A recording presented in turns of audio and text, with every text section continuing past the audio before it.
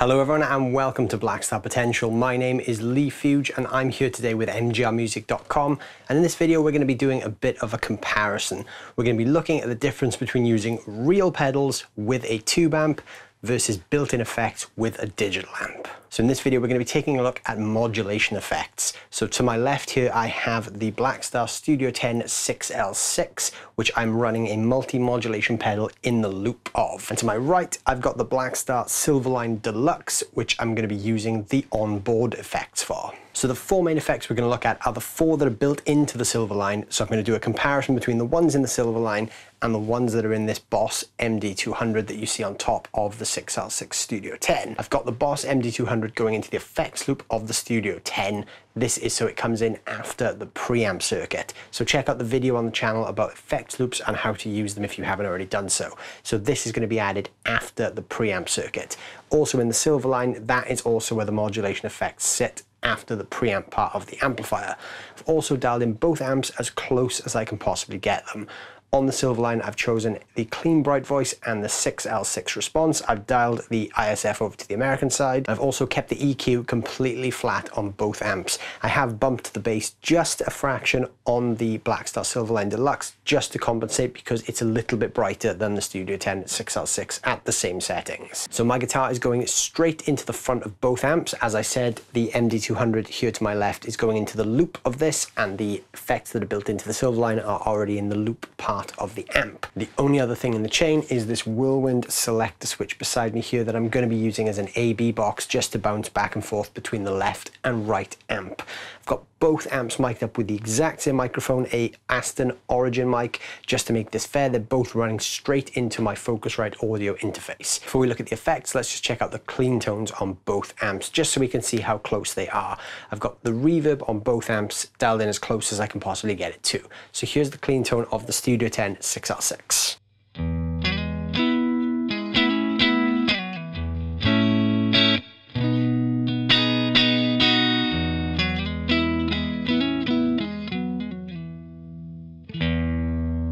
Now the clean tone of the Silverline Deluxe.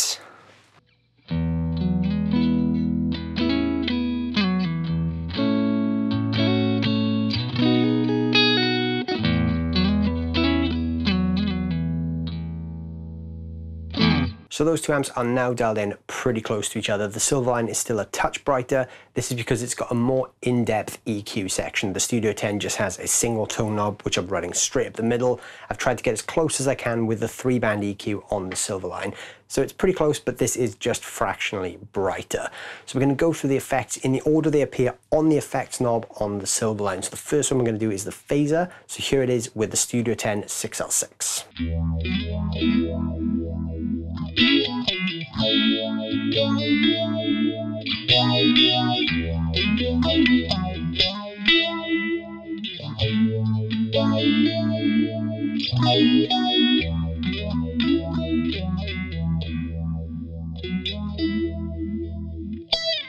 And now the phaser effect on the Blackstar Silverline Deluxe.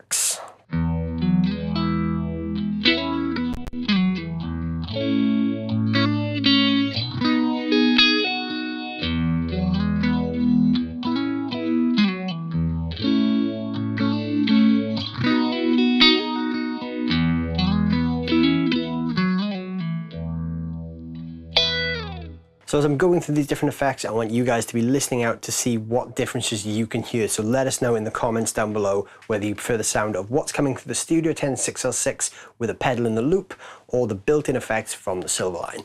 So the next thing we're going to come across on the effects knob is the flanger. So I'm going to start over on this side again on the Studio 10 6L6.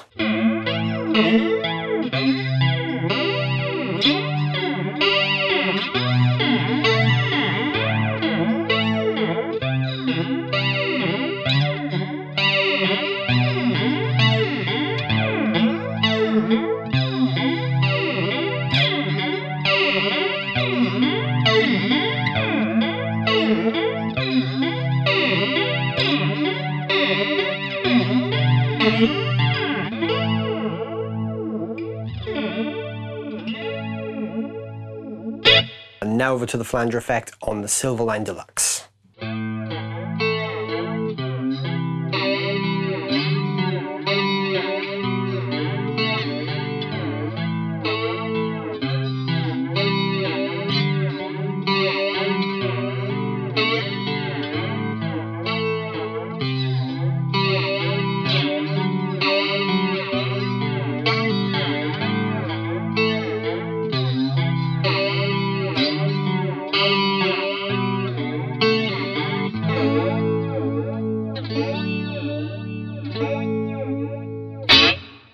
Right, next up we're going to look at chorus. So once again, Studio 10 6L6 first.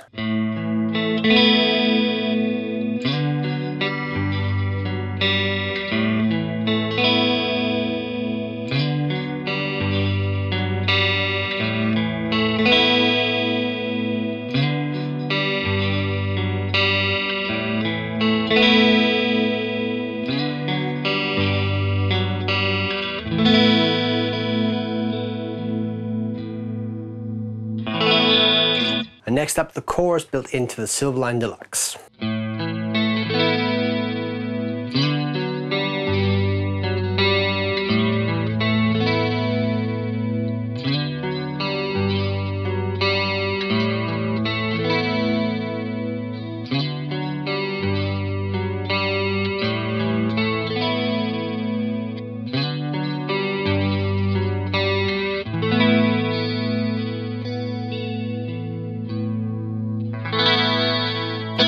Now finally we're going to look at the tremolo effect. So first up once again is the Studio 10 6L6.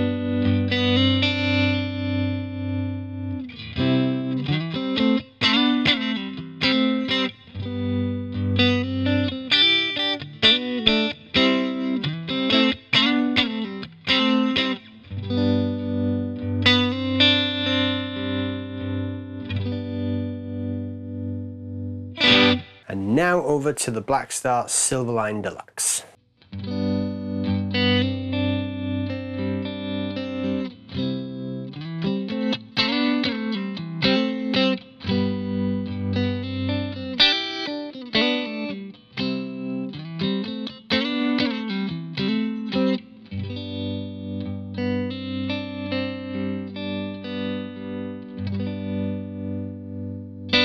So there you go, there is a side-by-side -side comparison of a tube amp with a modulation pedal in the loop versus a digital amp with built-in modulation. Which one do you guys prefer? Let us know down below in the comments. Ultimately, remember there is no right or wrong answer with this. It's all a bit of fun and it's all subjective to your own needs.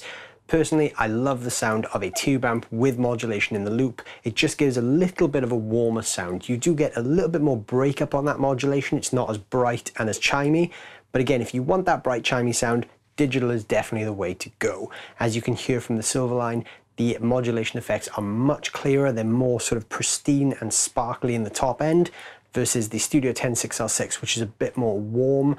And obviously this is more of that kind of classic vibe sound, and this is more of a modern sound. But again, it's all subjective to your own needs. So let us know which one you prefer the sound of down below. Thank you guys so much for watching. I hope you've enjoyed this video. If you did, let us know. And if there are any other topics you'd like to see us talk about to do with your amps, please let us know and we'd be happy to take a look at that for you as well.